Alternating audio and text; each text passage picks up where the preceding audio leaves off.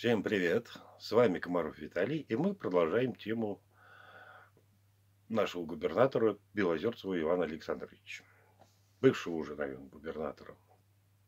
Сегодня или вчера его, как говорится, арестовали, это уже подтвердилось. подтвердилось. Видео с его задержанием уже есть на ютубе. Он там подписывает документики, все, все хорошо. И еще есть непроверенная информация это первое. Какая из непроверенных, это то, что у него нашли 420 лямов наших российских любимых деньгов. Второе, непроверенное, это то, что у него нашли еще и 50 килограмм золота. В прямом смысле этого золота. Там, в чем она там, то ли в коробках, то ли еще в чем, неизвестно. Плюс к этим 50, 50 килограмм золота еще нашли и 250 лямов каких-то деньгов.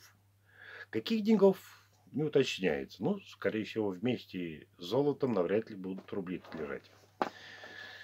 Так что вот такая вот штучка.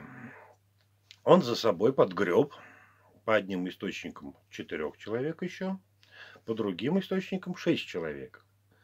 Их вроде бы как всех, то ли или не всех, и топируют в Москву. Будут проводиться следственные действия там все допросы будут там. Нашим прокураторам это дело не доверивают. Так что вот так вот.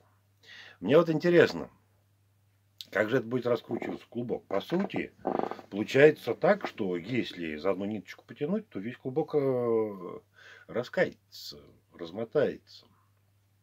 И, по идее, здесь должны под эту всю пилюлю попасть и все остальные главы администрации, которые с ними имели какие-либо де делишки. Вот такое вот мое мнение.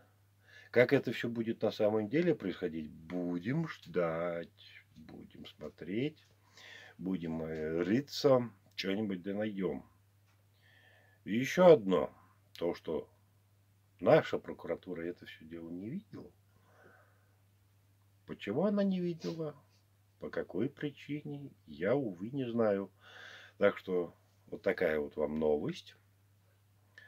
Подписывайтесь на канал, подписывайтесь на мои видео. Мы что-нибудь еще расскажем, что-нибудь еще покажем. Думаю, будет интересно. До новых встреч. Может быть, даже сегодня увидимся.